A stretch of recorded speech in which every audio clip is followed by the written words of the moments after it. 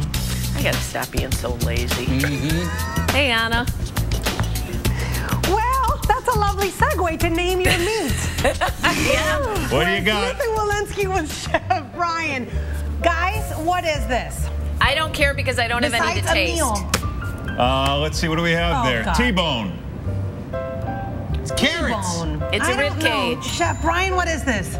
This is our double cut porterhouse. Porterhouse.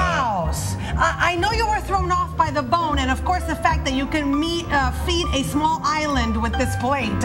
Who who would eat all of this, chef? Maybe an offensive lineman, somebody, somebody Really? large. You heard you, you you told me you've heard you've seen that happen. I have witnessed more than one of these going down in one setting, yes. A- and then dessert, right? That's correct. When we come back, we're going to talk the online dating and the do's and don'ts of the first date. We have a great contest for you coming up, and the prize is a wonderful dinner here at Smith and Wollensky. Back to you.